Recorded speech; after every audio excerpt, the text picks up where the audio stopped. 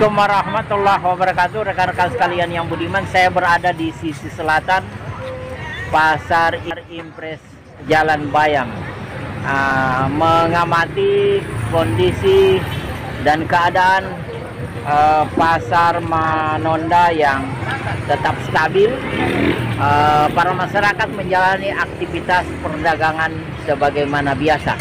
Bahkan uh, tertata rapi uh, dengan disiplin yang telah diterapkan oleh pemerintah kota khususnya wali kota dengan Satgas Satpol PP. Mari kita mengamati secara dekat.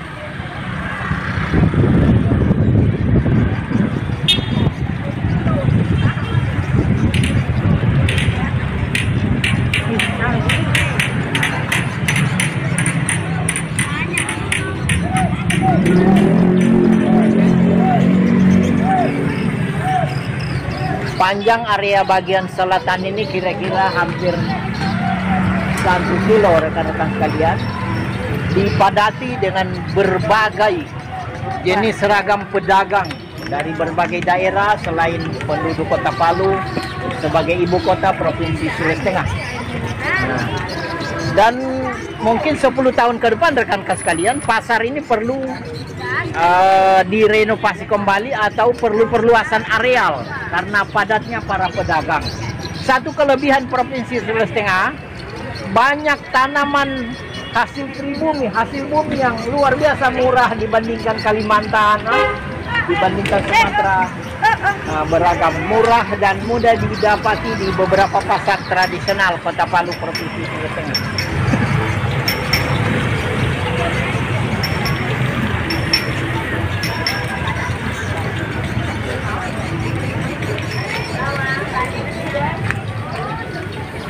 Arisa.